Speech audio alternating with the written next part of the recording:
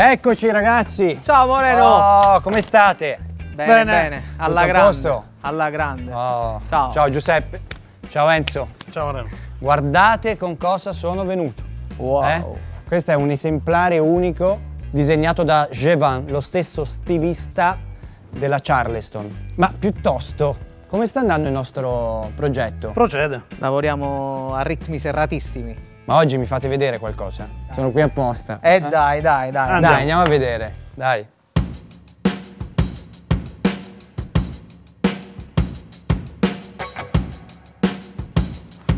Eccoci qua. Oh, che spettacolo! Allora, alcune cose già le vedo, altre credo che non siano così visibili. Giuseppe, inizia a raccontarmi da dove siete partiti e che modifiche avete fatto. Il progetto Citroen in realtà racchiude un po' tutta quella che è la filosofia del South Garage. Si sintetizza forse in una frase.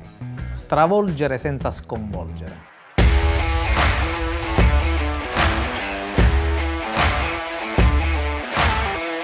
Base di partenza Triumph Bonneville rigorosamente a carburatori. Per noi era fondamentale dare un imprinting stilistico immediato, mantenendo fede alle linee della Charleston, senza però attuare interventi invasivi su telaio, ciclistica e motore.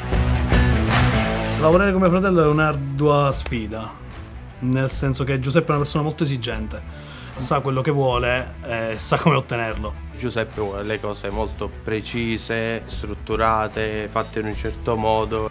Stargli dietro forse delle volte è molto faticoso, in ogni caso è sempre mio fratello, quindi lo conosco, so come portare avanti qualsiasi tipo di progetto. Noi abbiamo voluto riproporre sulla moto i vecchi passaruota della Charleston, Eh. con queste bombature, con questa presenza prorompente. Infatti, se la parte davanti, diciamo, è più o meno originale, dietro invece il colpo d'occhio ti richiama subito alla due cavalli. Ma sono proprio uguali, uguali, uguali oppure c'è qualche modifica? In realtà sono fedeli al 95%. Ho cercato di posizionarle in modo giusto, di capire se, se si dovevano allargare o stringere. Poi ho cominciato a fare tutta la parte in lamiera con i fianchetti.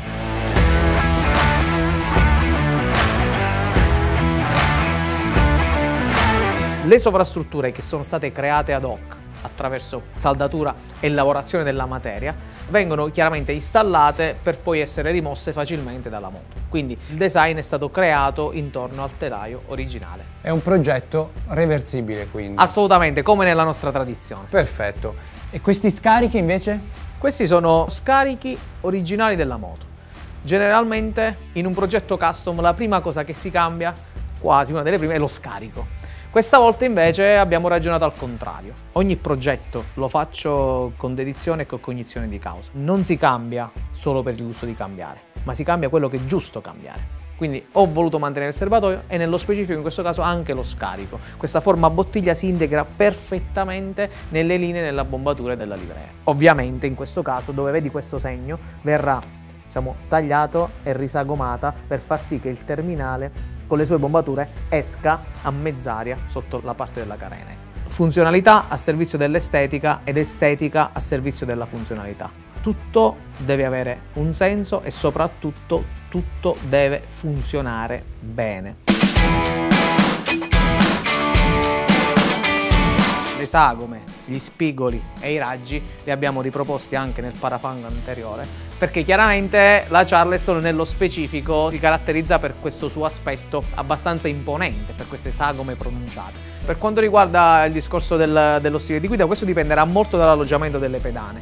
Siamo stati liberi di voler riversare sulla moto tutto quello che ci passava per la testa.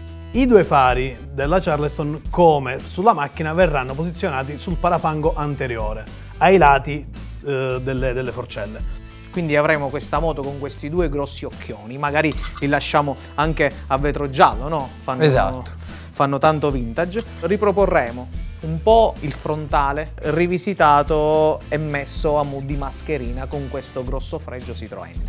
Tra le altre cose Abbiamo voluto impreziosire il progetto con una serie di chicche di accorgimenti stilistici che tendono a valorizzare tutto il resto e, e- rendere tutto un po' più armonico e più sofisticato. Tipo quali? Un portoggetti fatto con tontini di, di ferro che praticamente in questa parte vuole un po' emulare no? Certo. il, logo, il logo della Citroen e che viene messo in questa posizione a mo' di portoggetti. Ecco. È vero che è la prima volta che mi viene chiesto di ispirarmi a un'auto per fare una moto, ma di fatto in realtà eh, le auto ispirano tantissimo il mio lavoro.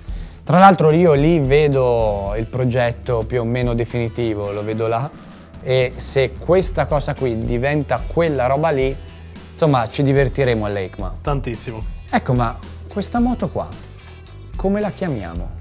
Una domanda da 100 milioni di dollari. Vabbè, ci pensiamo, eh. Ci Poi pensiamo. quando torno magari un nome è saltato fuori. Voglio creare un'aspettativa in tutto questo. Il progetto sarà ancora più figo di quello che vedi, che vedi in foto. ecco. Benissimo, quindi io non vedo l'ora di venirla a rivedere quando sarà praticamente finita. Ti aspettiamo per la prova. Dai, Perfetto. grazie ragazzi. Grazie, grazie, grazie a te.